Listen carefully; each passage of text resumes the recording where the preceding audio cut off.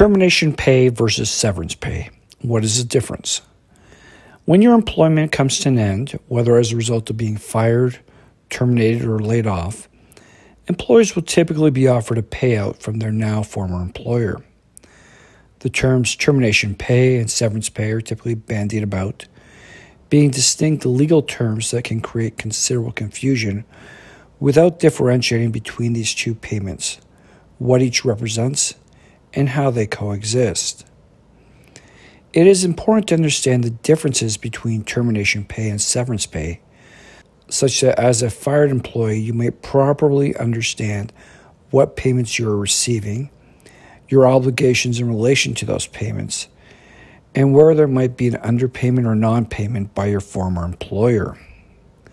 1. To begin, termination pay is a statutory payment that is legislated by the applicable employment standards legislation, while severance pay emanates from the common law, being the creation of the courts and as such is subject to significant variance due to an employer's assessment of those variables and what determination the employer makes and whether or not it is disputed by the employee. Now, even though we've differentiated termination pay as statutory and severance pay as common law, certain jurisdictions do have a statutory form of severance pay in addition to statutory termination pay and common law severance pay. For example, statutory severance pay for larger employers under Section 64 of the Ontario Employment Standards Act, or minimum severance pay under Section 235 of the Canada Labour Code. However, these statutory provisions of severance pay are more akin to statutory termination pay, as is evident from the employment standards legislation, as their specificity emanates from the legislation, such that they share similar legal characteristics with statutory termination pay, but for the fact that legislators sought to use the term severance pay, even though the court had already been utilizing the term severance pay for purposes of its common law adjudication. And for that reason, when we refer to severance pay in this video, it will be exclusive to the court dictated common law variants, given that in most provinces there is no statutory severance pay. 2. Termination pay is very specifically determined, with the applicable employment standards legislation setting out the mathematical formula for calculating termination pay. Typically, it relies upon two variables, being one, the number of years of employment, which establishes the notice period being measured in number of weeks, and two, the weekly pay earned by the employee based on the exclusions and exclusions specified in the applicable employment standards legislation. Meanwhile, there is not a singular mathematical formula for the computation of common law severance pay, with the courts having established a series of variables that it uses for determining severance pay when it is fully litigated through the courts, thereby enabling employers to set severance pay as they see fit and forcing employees to fight through the courts if they dispute the amount being offered by their former employer. 3. Termination pay must be paid in full within the time specified by the applicable employment standards legislation. This is non negotiable, although there are many employers, big and small, that violate the statutory requirement. Common law severance pay is very much a negotiated arrangement, which lacks the statutory requirements of termination pay, such that its payment can be structured over many months. 4 termination pay when due, as distinguished from an alleged termination for cause that is not challenged by the employee, needs to be fully paid out.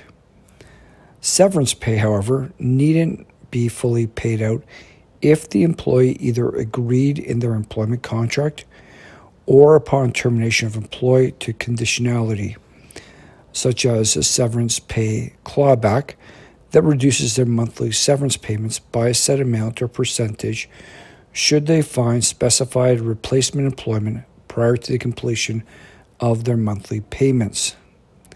5. Termination pay cannot be subjected to signing a release agreement or other dispensation of one's legal rights. That is not to say that far too many employers request a signed release prior to the issuance of termination pay, which contravenes most employment standards legislation. However, employees rarely push back on this statutory violation. Meanwhile, being asked to provide a signed release in advance of the employer paying severance pay is technically permissible. Given that the terms of an employee's severance pay are rarely established in full specificity, and when they are set out in an employment agreement, they typically specify that the signed receipt of the employer's written release is a prerequisite for the payment of severance pay. Given it's a negotiated or contracted term to settle the specifics of severance pay in a more timely fashion, as opposed to proceeding through court litigation to obtain the court's determination as the appropriate amount of severance pay, a written release is permissible for purposes of attaining severance pay. 6. Termination pay and severance pay can and do coexist, with termination pay in the absence of working notice representing the statutory minimum that the legislators have determined all identified employees are entitled to, while common law severance pay represents the greater and more complete payment that the courts believe is due based on an individual's specific employment circumstances. Both aspects need to be dealt with when an employee's job comes to an end upon being laid off, fired, or terminated without cause.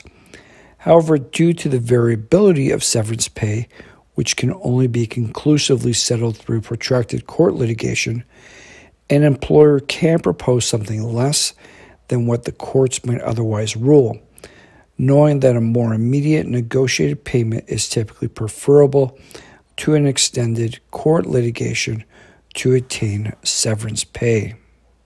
Naturally, we are only scratching the surface when it comes to dealing with losing one's job, whether you are fired, terminated, or laid off with termination pay and severance pay only being two facets of what you might be owed from your former employer, with the confusion distracting far too many employees from what they should be also be looking at. If you have been fired, terminated, or laid off, and are looking for knowledgeable legal counsel to address your personal situation, contact our law firm. Thank you.